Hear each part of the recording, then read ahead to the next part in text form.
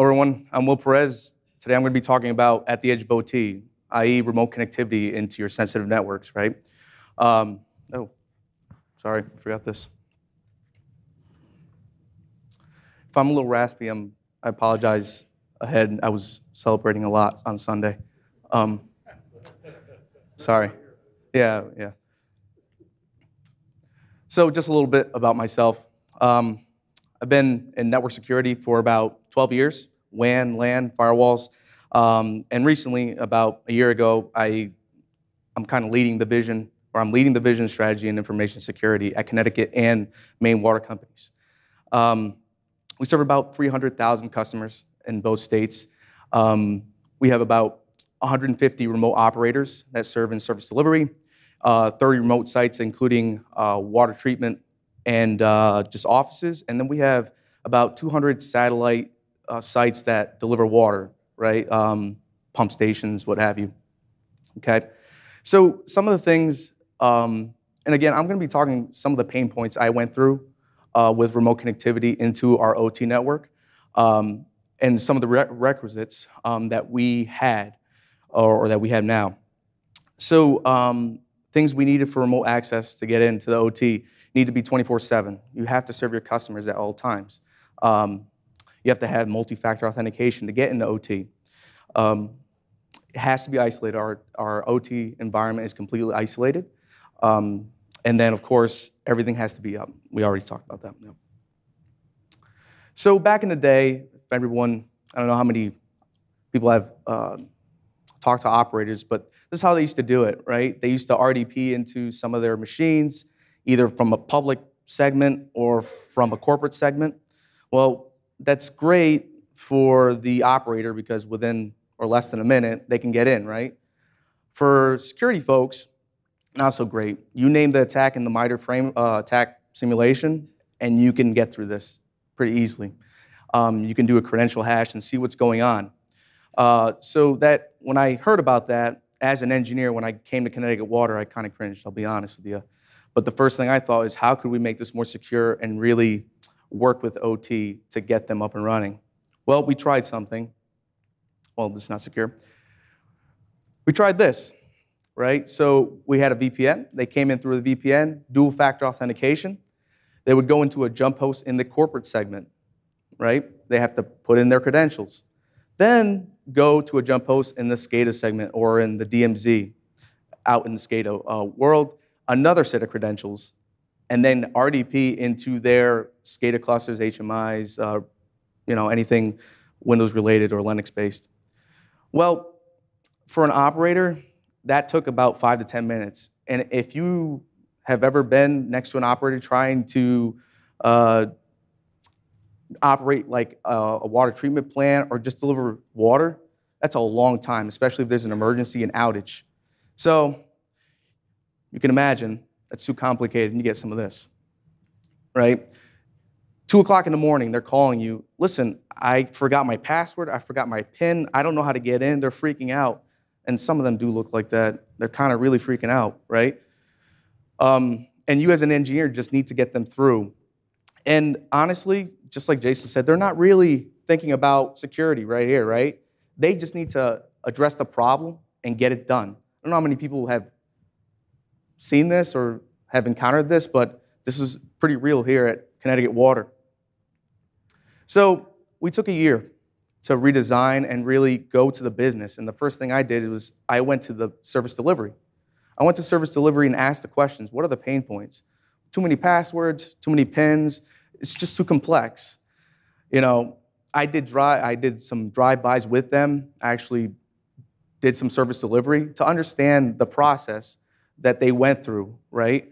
Um, a day in the life, we call it. And I took about three months doing interviews with almost every employee at service delivery. It's quite tedious, but I really wanted to know from each of them what their pain points were, and everyone said the same thing. Remote connectivity into our OT network is virtually impossible for them because they can't remember all these passwords, right? And all these pins. So, our challenge was getting something to meet our security criteria or go beyond that and make it easy for operators to use. So we partnered with Dispel. Not gonna shameless plug there, but again, we we partnered with Dispel. One, it made it easier for our users, right? As opposed to five, ten minutes, one minute. Now, on the security side, I'll go back here.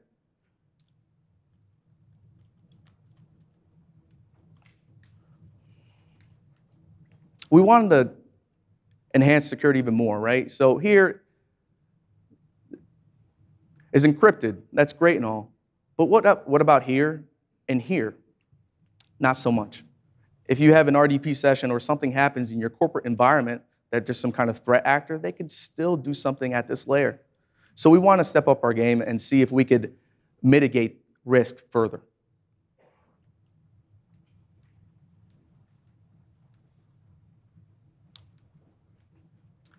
So one of it, one of the criteria was encryption. Could you encrypt from one point to the other, from the outside to SCADA, fully encrypt the tunnel? In this case, sorry, they could. They use two layers. So an underlay, encryption from whatever service you pick. We picked Amazon or we're using Amazon. One layer, and then an overlay. The entire overlay was encrypted into your uh, uh, network. Standard AES 256, 49, uh, 4096-bit RSA encryption. High standards. The other was, could you remote uh, remotely connect into your network and be completely isolated at the same time. Previously, you couldn't with a jump host. You still had a connection to the outside. You still had a connection to the corporate world some, of some sort with an RDP session. With this, it was completely isolated. We pen tested the crud out of it to really make sure that was the case. Um, so once you get in, you're in, and you're only focusing on SCADA, and there is no contamination whatsoever. And then access control, least privilege, making sure that the proper personnel got what they needed. So essentially, what this product does, Dispel does, is it does everything we're doing with jump hosts, encrypts that. Oops. And keeping the user happy at the same time. All they see is an agent or a client for them. They put in their credentials in the OT side, dual factor, and they're in. Their whole path is encrypted. Uh, their experience is, their efficiency is uh, increased. So within the minute, they're already in the OT network operating, and they don't have to worry about no visibility for five to 10 minutes. They don't have to worry about any of the pain points. Um, that they, that they were going through previously. And then for us as security professionals, we know that from start to finish, the whole entire process is secure.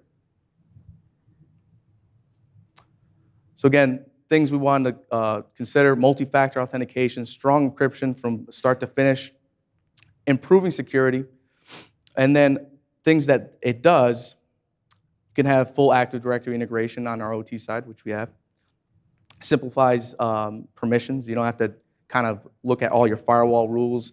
And just a little side note, this also decreased um, like the workload for our IT professionals, right? Or for our uh, InfoSec guys. All the firewall rules that we had to do to sustain kind of these jump hosts, I think we had 150 rules. Okay, that's a lot. All right, a lot of poking in your firewall, um, and we weren't comfortable with that, right? So with Dispel, it's one firewall rule and the protocol that you wanted to let through. It was that easy. That's it. Short and sweet.